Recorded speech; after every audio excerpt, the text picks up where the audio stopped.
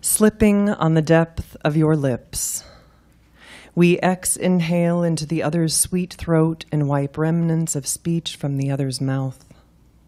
Your lips are full, like my tea kettle, steaming of whistles and hot as the fluid inside.